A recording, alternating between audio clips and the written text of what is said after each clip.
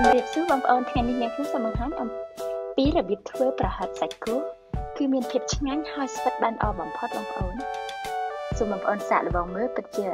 មិនខកចិត្តឡើយដូច្នេះមានគ្រឿងផ្សំដូចតទៅសូមបងប្អូនតាមដានចា៎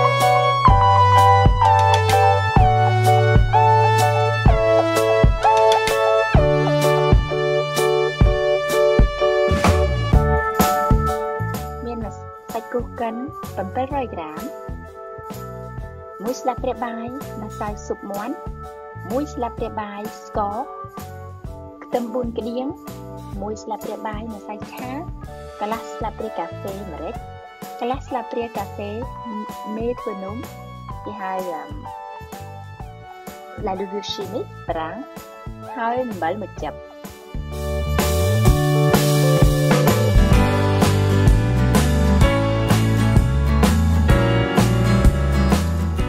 ដូច្នេះបន្ទាប់មកយើងដាក់ខ្ទឹមបុកយើងបុកឲ្យបានម៉ត់ល្អដើម្បីដាក់ចូលកាន់ជាមួយសាច់យើងបុកទៅតែម៉ត់កុំឲ្យនៅសល់មានដុំតូចតូចយើងបកឲ្យម៉ត់ល្អអញ្ចឹងទៅបងប្អូនបន្ទាប់មកយើងដាក់សាច់ចូលក្នុងប្រដាប់កាន់យើងរួចមកយើងដាក់គ្រឿងដែលយើងត្រូវផ្សំចូលនោះទៅទៅអស់តែម្ដងចឹងមានស្ករ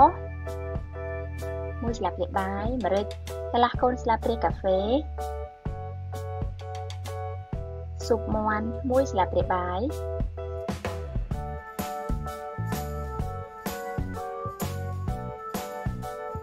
ម្សៅឆា1ស្លាបព្រាបាយ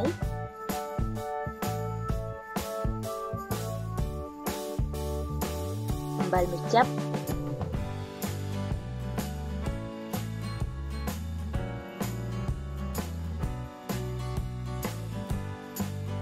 ហើយបន្តមកយើងកិន យើងកិនទាំងអស់តែសិនម្ដង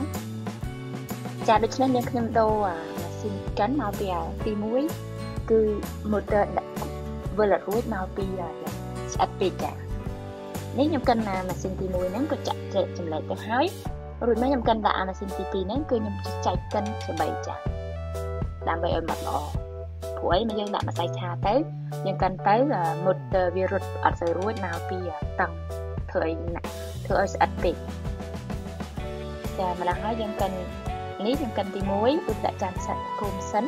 ហើយបន្ទាប់មកយើងយកដាក់ទី2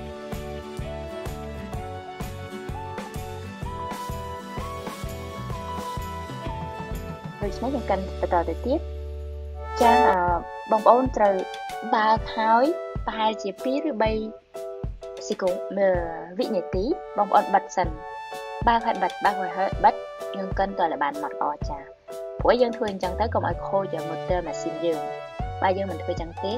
អាចនឹងខូច motor ចាបានម៉ាស៊ីនយើងព្រោះកិនបាក់ចិនចានេះទី2រួចហើយខ្ញុំដួសចេញដាក់បន្តទៅទៀតហើយយើងធ្វើអញ្ចឹងយើងកិនតទៅអស់សាច់យើងទៅបង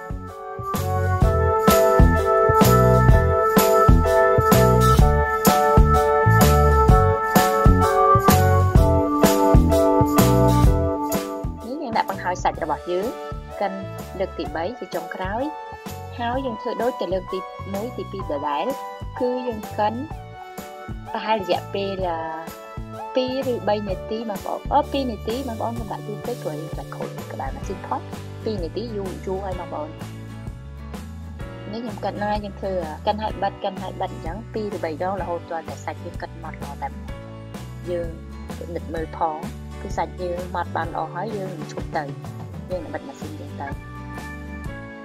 បើបងប្អូនមិនធ្វើអញ្ចឹងទេម៉ាស៊ីនរបស់យើងប្រកាសជាខូច motor ហើយបងប្អូនព្រោះអីអាម្សៅឆាហ្នឹងដាក់ទៅធ្វើឲ្យវិលចង់រួចចឹងមកម៉ាស៊ីនយើងនេះម៉ត់ប៉ុណ្ណឹងបានរួចស្រេចហើយបងប្អូនដូច្នេះអាសាច់របស់យើងរួចហើយយើងដាក់ចូលចាន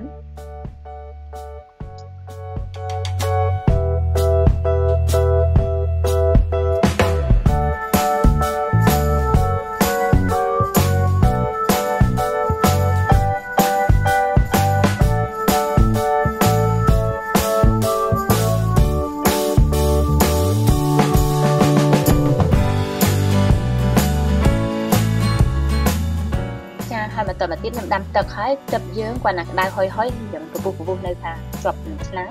រួចមកខ្ញុំយកខ្លាញ់ខ្លាញ់អីក៏បានដែរស្រីតែបងប្អូនមានលាបដៃយើងបងប្អូនធ្វើដាក់ដៃមិនបាច់ដាក់ឲ្យកង់ក៏បានដែរនេះដាក់ស្រោមដៃហើយយើងច្បាច់វាឲ្យចុះឡើងចុះឡើងឲ្យចេញមូលមូលចឹងមកយើងយកស្ពាដួសចឹងដាក់ចូលនៅក្នុងទឹកដែលយើងហុយហុយចឹងទៅ ទឹកយើងកំដិតឲ្យពុះបងប្អូនអញ្ចឹងប្រហិតយើងនឹងឆ្ងាញ់នេះអញ្ចឹងម្ល៉េះហើយយើងដាក់ពេលទឹកយើងនឹងហុយហុយអញ្ចឹងហើយយើងដាក់លេខប្រហែលជាលេខ4ឬលេខ5បានហើយបងប្អូនដាក់ក្តៅមធ្យមបានហើយអញ្ចឹងទេតែពុះប្រហិតយើងអត់ស្វិតហើយអត់អត់ឆ្ងាញ់ចឹងទៅចាហើយយើងធ្វើអញ្ចឹងធ្វើតែអស់សាច់ប្រហិតយើងទៅហើយបន្តមកទៀត